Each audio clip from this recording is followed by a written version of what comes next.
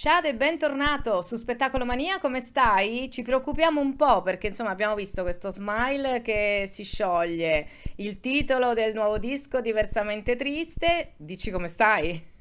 Eh, mi sto sciogliendo un po' anche io, devo dire, e non per il caldo, un po' per la tensione, chiaramente, di rilasciare un album dopo così tanto tempo e, e non sapere poi chiaramente come verrà preso dalle persone, soprattutto perché ci ho messo tantissimo del vissuto degli ultimi cinque anni, tantissima vita vera, tantissimi fatti personali e di conseguenza spero che venga preso bene. Vabbè, ma questa tensione c'è sempre, no? Per ogni nuovo disco, per ogni nuova canzone che si fa, Sì, immagino. sì, Eh. assolutamente, in effetti non è che è un'ansia nuova, non mi è Vabbè, nuova. comunque io l'ho sentito e devo dire che a me è piaciuto, per quanto possa Grazie. contare. Insomma, una in più, dai, una in più. E una E c'è. una è andata, ok. Anzi, eh, io l'ho sentito e mm, mi sono anche fatta, mm, come dire, mi sono segnata delle parole chiave eh, che ti vorrei segnalare, così per magari anche parlare in modo un po' più, no? Sempre non la canonica, domanda e risposta. Ho ascoltato il tuo album e ho segnato delle parole chiave. Un album naturalmente che trovo molto umorale e ci sono molti sbalzi, no? Di Sì. appunto umore e anche molto autobiografico, quindi la prima parola chiave che mi è venuta in mente è vita, cioè tu racconti parte della tua vita in questo disco, eventi drammatici e non, senza filtri come dicevi prima, e, e dici proprio ciò che volevi dire, no? Con la musica che ti piace, quindi vita e libertà. Mi- così, parlami un po' di queste due, di questi due concetti legati al tuo album. Eh, guarda, eh, hai praticamente detto la stessa cosa che pensavo io. C'è tanta vita vissuta, esperienze positive e negative.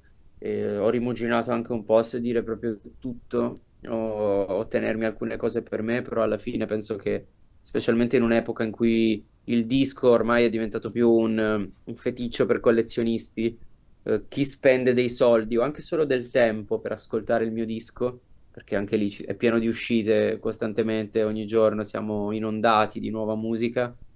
Dicevo, chi sceglie di ascoltare questo disco deve avere qualcosa di, di vero, deve avere tutto, tutto quello che posso dare, quindi non mi sono sicuramente risparmiato nei racconti, nei dettagli e, e mi sento di dire anche nella, nella libertà di, di- di poter fare, eh, dire collaborare con, con tanti altri artisti della, della scena rap con cui non collaboravo da tanto tempo e la stessa libertà che poi mi ha eh, permesso di arrivare a, a rifare eh, il rap per come l'avevo sempre fatto prima di farmi conoscere eh, nell'ambito più commerciale, più nazional popolare con eh, le hit degli ultimi anni, Sanremo, insomma, tutti quei contesti che poi mi hanno portato anche un po' a farmi conoscere nelle case degli italiani. Poi c'è un'altra parola che mi sono segnata che è tempo e che riguarda sia questi tuoi cinque anni, no? In cui hai atteso per tirare fuori questo disco e, e anche il fatto che tu dici che mh, eh, ami il lungo termine, no? Che la gente magari non ha tempo, come dicevi appunto prima, di ascoltare eh, così la vita delle persone messa in musica in qualche modo. Sì, purtroppo sì, questa è la tendenza dell'ultimo periodo. Secondo me la pandemia ha anche accelerato questo, questo processo di, eh, di fast food anche nell'ambito della musica. I dischi, quando ho iniziato ad ascoltare rap, io duravano anche due o tre anni. Mm, adesso se durano una settimana ti puoi ritenere fortunato, motivo per cui spero che, che questo disco abbia eh, il ciclo opposto de- de- degli album che escono adesso, che magari fanno il botto, vanno primi e poi spariscono dopo pochissimo. Cioè, pre- spero che, che magari venga scoperto e riscoperto nel tempo a venire e, e che comunque possa lasciare qualcosa in chi lo ascolta, perché c'è tanto vissuto, come ti dicevo, e, e mi dispiacerebbe che non venissero colte determinate eh, vibes, perché possono veramente essere spesso e volentieri anche di conforto per chi lo ascolta. A proposito di questo, mi faccio un po' i fatti tuoi, visto che racconti un po' della tua vita, quindi ti volevo chiedere, intanto mantieni le promesse e ti premetto che Promesse è uno del mio pezzo preferito che ho sentito Ah, grazie. disco. Sì, perché l'ho trovato molto, sai quella frase dove dici ti chiedi mai dove vanno le promesse che non mantieni, come, Eh, come poteva essere, no? Quindi ci sono i se, ehm, una sorta di sliding doors, però appunto promessa e ehm, non mantenuta, insomma. Ecco, quindi tu le mantieni invece le promesse. E Io qual è la faccio... promessa non mantenuta che ti ha deluso di più e ti ha portato a scrivere questo pezzo? Allora, le mantengo, le mantengo sempre anche a costo di farmi del male io. E se non le ho mantenute in determinati casi è perché ho visto che dall'altra parte invece non hanno mantenuto le loro, quindi non aveva più senso continuare ad avere rapporti. Eh, diciamo che le, le delusioni più grandi eh, le ho avute nell'ambito lavorativo, dove chiaramente, cioè, nel nostro ambiente tutti ti promettono tutto, ti promettono la Eh, c'è pure luna. una canzone, un pezzo bello tosto su questo, no? Dove non, non le Esatto. mandi a dire, diciamo. Esatto, e per cui eh, so- io cerco sempre di non illudermi, ma alla fine mi illudo perché sono stupido. Sono sempre... Mi viene in mente quella scena di, di Scrubs in cui il dottor eh, Kelso dice a JD eh, sei un idiota e lui dice no, sono un sognatore. Però molto spesso le due cose sono sinonimi, quindi No, vabbè, eh, ma tu risponditi con la seconda, risponditi che sei un sognatore, non sì, sei... beh, io sono chiaramente un sognatore. mancherebbe altro. Mi illudo molto facilmente e quando ti promettono di, di poter esporre eh, i, i tuoi, i tuoi pensieri più profondi in determinati contesti e, e tu ci tieni veramente tanto a quei pensieri e poi alla fine la cosa era, era tutta una menzogna, chiaramente dici, boh, ma perché me l'hai detto allora? Perché mi hai illuso di questa cosa? È sempre brutto poi scoprire tutti i giochi di potere che ci sono dietro perché alcuni, te lo dico sinceramente, sono talmente meschini che io non riesco neanche a pensarli. Vorrei vero, essere certe cose non si possono immaginare, Ma io vorrei essere come quelli che fanno i video che escono ogni tanto su TikTok con i cuffioni e il microfono dove dicono sì, io ho il mio progetto di business, la mia- il mio mindset, la mia mentalità. Zero. Chiedimi di scrivere un testo anche sul, sul cambiamento climatico, te lo scrivo, ma riuscire a ragionare in maniera imprenditoriale in quel senso, perché poi chiami- la chiamiamo Vabbè, perché sei imprenditoriale, artista, cioè secondo me oh, chi è artista e chi è imprenditore, poi a volte le due cose combaciano, però insomma con delle, secondo me, pesanti differenze che poi si sentono. Senti, sì, alleggeriamo un attimo, ti piacciono le ragazze lunatiche? sì, è questa. Che Lunatica è un'altra canzone che mi è piaciuta parecchio. il mio tallone d'Achille, diciamo, che ultimamente sto cercando di, di cambiare un po', ecco, mi, piace anche il pensiero di una persona che c'è, che è presente, che è un porto sicuro dove, dove approdare la sera dopo una brutta giornata tra le sue braccia, quindi mi piacciono, però hanno quel fascino. Anche questo sul lungo termine non dura molto.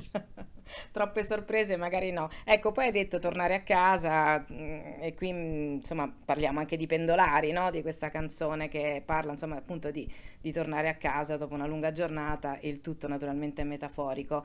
Eh, diversamente triste, perché diversamente triste? Credo che sia diversamente triste, eh, qualsiasi persona che nella vita di tutti i giorni esponga al mondo un sorriso, che però, eh, è un sorriso colante, come quello della cover, un sorriso che si scioglie, che cela delle sensazioni di, di grande tristezza, di solitudine. E, non è un sorriso falso nel senso brutto del termine, è un sorriso che magari ti stampi in faccia per eh, cercare di rincuorare una persona a cui vuoi bene, per tirarla su di morale, per farla sorridere, e- o magari semplicemente solo perché non hai la forza di, di- di dire quello che, che hai dentro. Quindi tutte le persone che fanno questo quotidianamente per me sono diversamente tristi. E un'altra cosa infatti che mi era venuta in mente, un'altra parola chiave era clown, no? Tu hai un po' forse la sindrome del clown, hai Certo. detto no? Che chi sorride sempre si pensa che non soffra, invece non è così, giusto?